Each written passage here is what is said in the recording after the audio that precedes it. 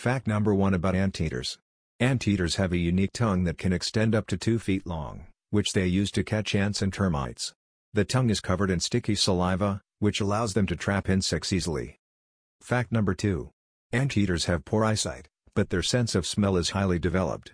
They can detect the scent of an ant colony from over 100 yards away. Fact number 3. Anteaters have an unusual reproductive strategy. Females give birth to a single offspring, which they carry on their backs for up to six months. During this time, the baby anteater will feed on its mother's milk, but it will also start to consume small insects as it grows older.